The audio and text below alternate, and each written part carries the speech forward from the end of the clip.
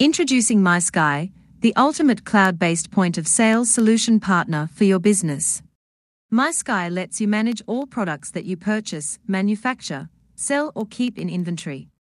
You can define the services also as open items, although they are only relevant for sales. For each item, you enter the data relevant for a particular area in MySky, which uses this data for ordering, receiving, sales, and warehouse management. You can use the Product Master window to add, update, search, and maintain all products you carry in your store. To access the Product Master window, go to the main menu, choose Products and Groups, and click on the Product Master menu item.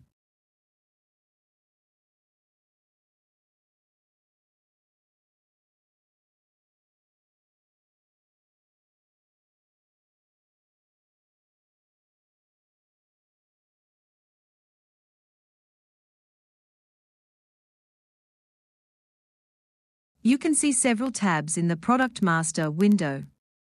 These tabs are General, Status, References, Attributes, Suppliers, Inventory, Barcode, Tax, Location-wise Price, Image Upload, and Variants. As MySky supports you in managing a vast set of information about your products, we have many input fields in the Product Master. However, you need not enter all fields in the Product Master for all products. You may enter only the relevant data for the selected product that you are about to create. We have marked all the mandatory inputs on the screen with an asterisk sign so that you won't miss out on the important and must have data about a product. Some of the fields in the product master are linked to other master files in the system so that you can refer to already saved information to fill out the data in the window. For example, the unit of measure of the product you are about to create is linked to the unit of measure master file in the system to choose the UOM from a predefined list. Attributes such as department, subdepartment, category, subcategory, brand, supplier, tax, and price mode are too linked to their respective master files. Ensure you have those master files updated with valid data before you start creating items or you may go to those individual master files to create new entries, as and when necessary. Now that you have a basic understanding of the product master, let's see how a product could be created in the system by entering data into the screen.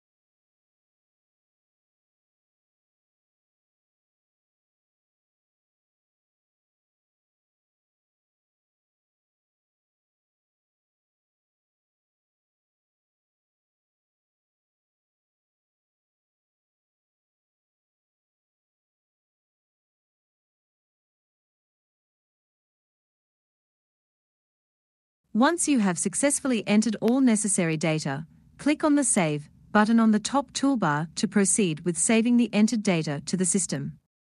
The system will show relevant messages if you missed any mandatory fields or if the system validates the entered data is wrong. If all data is validated, the system will prompt a confirmation message Do you wish to save? with yes and no options. You can choose to save the entry by selecting Yes.